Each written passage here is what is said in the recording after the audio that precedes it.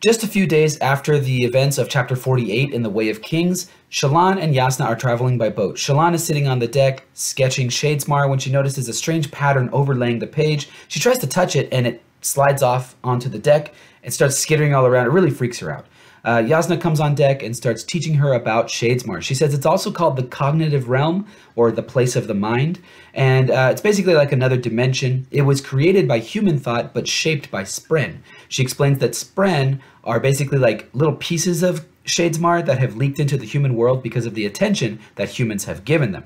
She thinks that Shallan was actually led to Jasnah by Spren, which are the strange creatures that Shallan keeps seeing. She thinks that the Spren can sense that something major is happening in the world, and they're reaching out to humans because they're kind of freaked out about it.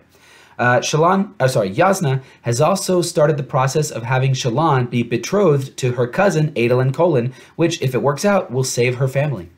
There's no way I can cover everything in a one minute recap, so let me know what I missed down in the comments.